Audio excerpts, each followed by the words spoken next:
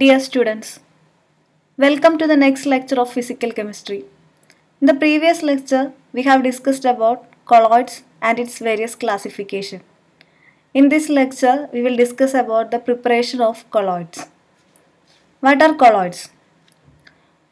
Colloids are heterogeneous systems which have a dispersed phase and a dispersion medium and the particle size of the dispersed phase will be in 1 to 1000 nanometer range. Sols are colloids in which the dispersed phase is a solid and the dispersion medium is a liquid. There are two types of sols, lyophilic sols and lyophobic sols. Lyophilic sols have strong affinity between the particles of dispersed phase and dispersion medium. Because of this, the preparation of lyophilic sols is very easy. It can be simply prepared by mixing the dispersed phase and the dispersion medium under ordinary conditions which will result in the formation of colloid. Certain substances like gelatin, starch, etc. can readily go into water to give the colloidal mixture. And each colloidal particle contain, contains either a single large molecule or aggregation of small number of molecules to give the particle size in the colloidal range. And these colloids are called intrinsic colloids. Coming to lyophobic sols, they have low affinity between the particles of the dispersed phase and the dispersion medium. Lyophobic sols are usually dispersions of small particles of insoluble materials of low molecular weight and these are generally called extrinsic colloids. The simple agitation of these substances with dispersion medium cannot yield the sols, the respective sols. So that special methods are required for the preparation of lyophobic sols. These methods are of different types. The preparation of lyophobic methods are broadly classified into two types condensation methods and dispersion methods. Condensation method is otherwise known as aggregation method. In this method, the molecules or ions present in a true solution are made to group into larger aggregates of colloidal dimension by suitable physical or chemical means. And thus, depending on the method used, condensation methods are classified into physical methods and chemical methods.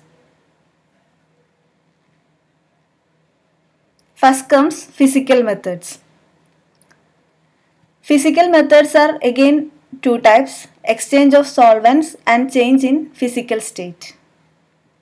Chemical methods are hydrolysis, double decomposition, oxidation, and reduction methods.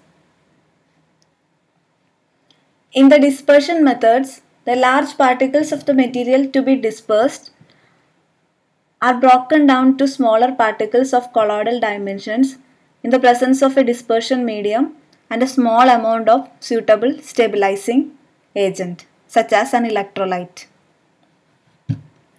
Dispersion methods are of different types. It can be mechanical dispersion, electrodispersion and peptization.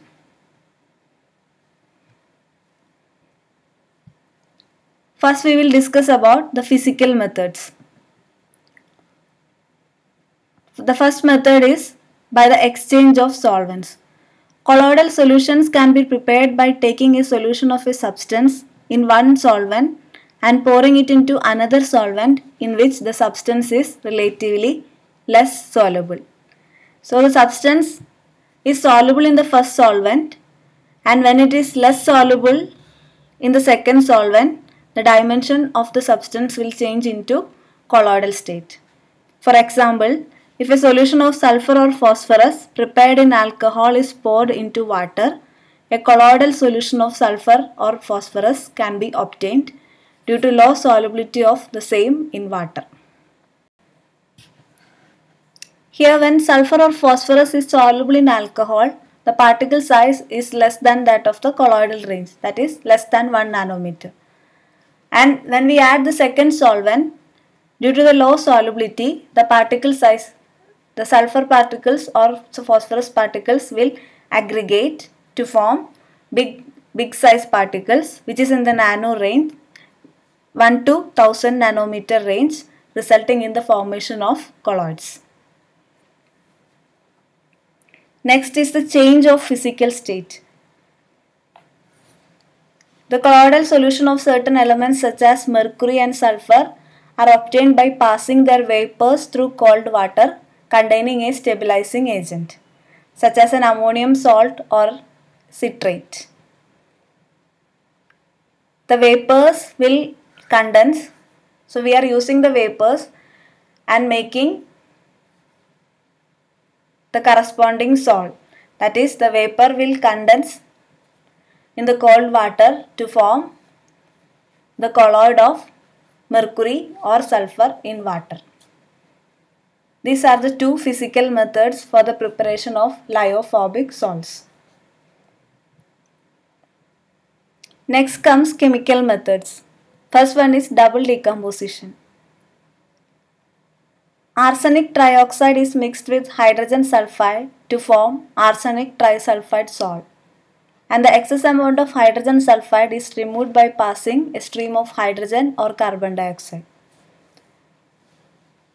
In this, the reactants are arsenic oxide and hydrogen sulfide. It will result in the formation of the sol arsenic trisulfide in water. That is, the dispersed phase and the dispersion medium are obtained as products. That is double decomposition. Next is hydrolysis. A colloidal solution of ferric hydroxide is obtained by adding concentrated ferric chloride dropwise to boiling water. So ferric chloride plus water gives ferric hydroxide sol. FeCl3 plus H2O giving FeOH thrice which is the sol of ferric hydroxide.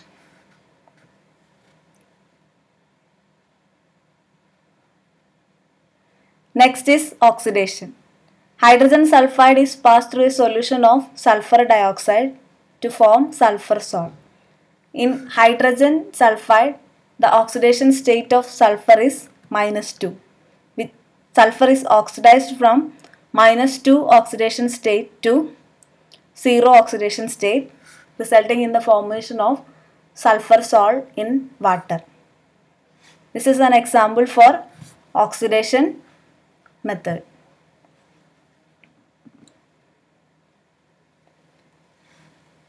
The sulfur sol can also be obtained by passing oxygen to hydrogen sulfide which will result in the formation of same sulfur in water. That is sulfur the sol of aqueous sol of sulfur. And the last method is reduction. An aqueous sol of gold is prepared by the reduction of auric chloride with stannous chloride in very dilute aqueous solution it is just opposite to that of oxidation in auric chloride the oxidation state of gold is plus 3 and gold is reduced to zero oxidation state resulting in the formation of gold sol. So an aqueous solution of gold is prepared by reducing auric chloride, a salt of the corresponding metal with stannous chloride in very dilute aqueous solution. In dispersion method, large particles are broken down into particles of colloidal dimensions. Dispersion methods are three types mechanical dispersion, electrodispersion, and peptization. In mechanical dispersion, the large particles of the material are broken down in a machine called colloidal mill. A suspension of the substance in water is added to the mill. Colloidal mill consists of two heavy steel discs separated by a little gap. They can be adjusted according to the particle size of the desired product. The two disks rotate at high speed about 8000 revolutions per second in opposite directions. The figure shows a colloidal mill. The particles present in the suspension are grinded to form the particles of colloidal size and also they are dispersed in water to form a sol. Indian ink is prepared by dispersing lamp black in water by means of colloidal mill and adding a stabilizer called gum arabic. Next is electrodispersion or Bredig arc method. This method involves electrical disintegration of the coarse material and is suitable for the preparation of aqueous colloidal dispersions of metals like gold, silver, copper, etc. Two electrodes of the relevant metal are kept immersed in water containing a trace of alkali taken in a vessel surrounded by an ice bath. A direct current electric arc is struck between the two electrodes to get an aqueous sol of the metal. The mechanism involves the dispersion step followed by a subsequent condensation step resulting in the formation of the hydrosols of the respective metals. The intense heat of the arc vaporizes some of the metal and these vapors are immediately condensed by the surrounding ice cold water to give particles of colloidal size. The aqueous dispersion that is formed is stabilized by the small amount of alkali added. This is the electrodispersion method. Next method is peptization. It is the process of converting a freshly prepared precipitate into colloidal sol by shaking it with the dispersion medium in the presence of small amount of electrolyte. The particles of a freshly prepared substance are held together by weak van der Waals forces of attraction. On adding a small quantity of electrolyte to it, these particles preferentially adsorb either the cation or the anion supplied by the electrolyte and get separated because of the repulsive forces yielding particles of colloidal dimensions. And these colloidal particles get dispersed in the medium to form corresponding sol. For example, a reddish brown colloidal solution of ferric hydroxide is obtained by adding small quantity of ferric chloride solution to freshly precipitated ferric hydroxide. Here the electrolyte is ferric chloride it decomposes to give Fe3 plus and Cl minus ions and Fe3 plus ions get adsorbed on the surface of ferric hydroxide particles forming ferric hydroxide sol. The peptization procedure is shown here. The freshly precipitated ferric hydroxide has a bigger size and when Fe3 plus cations are adsorbed on the surface due to repulsive forces these particles get separated yielding particles of colloidal dimensions. Another example is the preparation of sol of silver chloride. A fresh precipitate of silver chloride is peptized by shaking it with a dilute solution of silver nitrate or KCl solution. Silver, if silver nitrate is used, it gives Ag plus and NO3 minus ions and Ag plus cations get preferentially adsorbed on the surface of AgCl precipitate to give AgCl sol. These are the methods for the preparation of lyophobic sols.